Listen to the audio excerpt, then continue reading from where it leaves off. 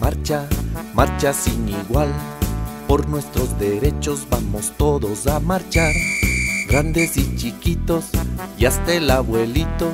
Juntos hoy marchemos, todos deben escuchar que nuestros derechos tenemos que practicar. Nacer, crecer, tener una familia, jugar, estudiar y muchas cosas más. Pero esto no es todo, esto no se acaba. Sigamos marchando con este paso marcial. Porque hay muchas cosas, cosas que cumplirlas. Si tengo derechos, hay responsabilidad. Todas estas cosas también debo practicar.